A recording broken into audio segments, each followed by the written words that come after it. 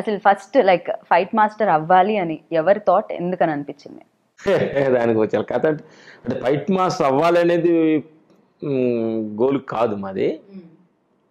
అది ఫస్ట్ ఊర్లో నుంచి బయటికి వెళ్ళాలి అనే థాట్ ఊర్లో పొలం పనులు చేస్తూ ఎక్స్ట్రాన్ చేస్తున్నాము. బెదర్కి మంచి ఒక డైలాగ్ వచ్చింది. సినిమా మా ఊర్లో ఊరు పక్క పేద తిమ్మసముద్రం అని ఉండేది. సినిమాకి వెళ్ళి వచ్చిన తర్వాత ఇంటికి అందరూ కూర్చుండగా నాకు తెలివి వచ్చింది అన్నాడు. ఏంటి అని అడిగారు అందరూ. నాకు బాగా గుర్తు చిన్నప్పుడు. సినిమా చూశాను నాకు తెలివి వచ్చింది అన్నాడు. సినిమాలు చూస్తుంటే తెలుగు వస్తుంది. అన్నాడు. మా వాళ్ళు నమ్మారు. నవ్వారు. అంటే ఎందుకు తెలివి అంటే విలేజ్లో మనం మాట్లాడుకుంటే మాట్లాడే ఒక సాధారణ ఉంటాయి కదా సినిమాలో కొంచెం మాట్లాడుతుంటారు కొంచెం అడ్వాన్స్ ఉంటుంది. ఆ మాట్లాడగానే మా ఊరికి తెలివి వచ్చిందే నేను అవునే వాళ్ళందరూ నవ్వుకున్న విలేజ్లో. అట్లాగా మాకు విలేజ్లో ఉండగా తెలివి వచ్చింది మాకు. ఏం తెలివి అంటే ఇక్కడ ఉండకూడదని తెలివి. ఓకే. ఈ గేదెలు మేకలు కాసి పొలం పనులు చేసి బోరు కొట్టేసింది. ఇక్కడ నుంచి ఎస్కేప్ అవుదాము అని ఒక ఆలోచన వచ్చి ఆలోచన అన్వేషన్స్లో మాకు మాకు తగ్గట్టుగా మాకు తగ్గట్టుగా జాబు మా ఆలోచన తగ్గట్టుగానే మా ఫైట్ మాస్టర్ రాజ్ మాస్టర్ తగలటం. అట్లా చెన్నై వెళ్ళటం జరిగింది. చెన్నై వెళ్ళిన తర్వాత కొన్నాళ్ళు రెండు మూడు సంవత్సరాలు పనిచేసిన తర్వాత ఆడంకో తెలివి వచ్చింది.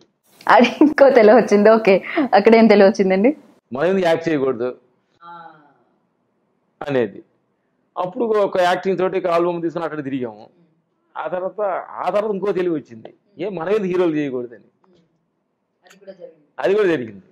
సరే మన హీరోలు చేయాలంటే మనల్ని ఎవరు హీరోలు పెట్టుకుంటారు అంటే మనమే స్టోరీ రాయాలి మనం ఎమోషనల్ చెప్పాలి అని చెప్పి మేము ఒక స్టోరీ రెడీ చేసేసి అలా ఏదో స్టోరీ చేసేసాం.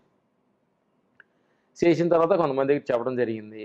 అది చెప్పితే ఎమోషనల్గా ఏడవటం బాధ అవటం మాట్లాడటం హీరో ఇలా వచ్చి అలా వచ్చాడంటాం ముందు ఆ స్టోరీల వల్ల మాటలు నేర్చుకున్నాం. మాటలు నేర్చుకున్నాం. ఎస్ అసలు ఇంతకుముందు మాట్లాడటం అంటే ప్రాబ్లం మనుషుల ముందు మాట్లాడేవాళ్ళం కాదు. చెప్పటం ఇది వల్ల ఏడుపు అప్పుడు కోపం బాధగా. మాట్లాడటం ముందు అసలు. అంటే పల్లెటూరులో ఎక్కువ మా టాకింగ్ తక్కువ కదా.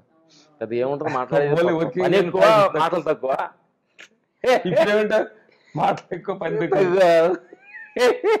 ఆపోజిట్ అప్పుడు మాకు ఇట్లా ట్రై చేసి చూసాము పెద్ద వర్కౌట్ అవ్వలేదు. ఆర్థికంగా కూడా బాగా ఫైట్ మేము చేయట్లేదు. హీరోలు అన్న ఫీల్ అయిపోయి మేము హీరోలకు ఫీల్ అయిపోవటం మంచి డ్రెస్ చేసుకోవటం.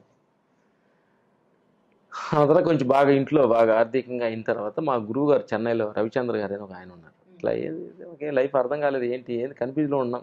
ఏదో కొత్తది కొత్తది వెళ్ళాలనుకుంటున్నాం కానీ ఇక దానివల్ల కొన్ని ప్రాబ్లమ్స్ కూడా ఎదురవుతున్నాయి. సాధారణంగా ఫైట్ చేస్తే డబ్బులు వస్తాయి. ఇంట్లో ఫ్యామిలీ ఉండొచ్చు కదా. అప్పుడు మా గురుగారు అన్నాడు అసలు హీరో ఈ ఆలోచన పక్కన పెట్టండి. యథాసదిగా మీరు ఎలా ఫైట్లు చేయాలన్నా అది చేయండి. ఏం చెబుతారో అది చేయండి. రెండు ఆలోచన పెట్టుకోవద్దు అన్నాడు.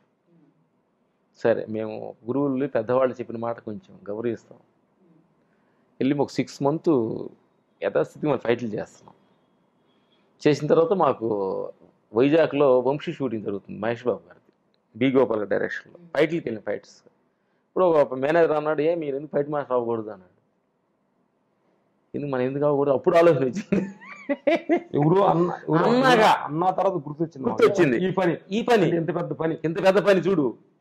తెలివి అప్పుడు ఆ తెలివి అన్నిటి తెలివి అనుకోదు ఇక్కడ తెలివి ఉపయోగించాల. మన ఈసే ఈసే తెలివి మాకు వచ్చింది మాకు ఈసే తెలివి ఏ వాళ్ళకి వచ్చింది? ఈసే తెలివి మాకు మాకు వచ్చింది. చూడండి తెలివి అదేమి అమ్మంటే ఇంకో ఫైటర్ అన్నాడు ఏ పది మంది పని వచ్చుకో ఫైట్ మాస్టర్ అయ్యి పది మంది ఫ్యామిలీ బతుకుతాయి అన్నాడు.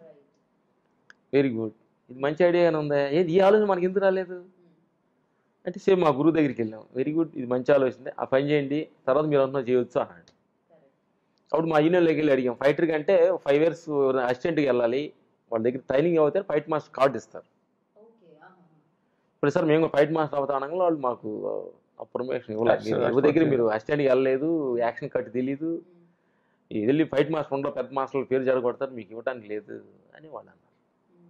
ఇదేంటి ఇది ఒక లెక్క అని చెప్తే మాకు తెలిసిన పనితో ఒక అతను ఉండి ఏదో ఏదో ఇంట్రెస్ట్గా. ఇంట్రెస్ట్గా ఉండాలి చూసి చూద్దాం ఒక సిక్స్ మంత్ లేదంటే మరి రిటర్న్ రండి అని చెప్పి అన్నారు. మా హీరో సురేష్ గారు ఫ్రెండ్ కొంచెం ఫైటర్గా ఉన్నప్పటి నుంచి ఫ్రెండ్ ఇప్పుడు ఫోన్ చేసి అన్నయ్య ఇట్లా మేము ఫైట్ మాస్టర్ అవుదాం అనుకుంటున్నాం. ఏం మాట్లాడలేదు. ఇమ్మీడియట్గా హైదరాబాద్ వచ్చేయండి నేను ఛాన్స్ ఇస్తాను చెన్నై నుంచి టూ థౌజండ్ వన్ బ్యాగ్ బుధాన్ని వేసుకొని హైదరాబాద్ గణపతి కాంపిటీషన్ దిగాం.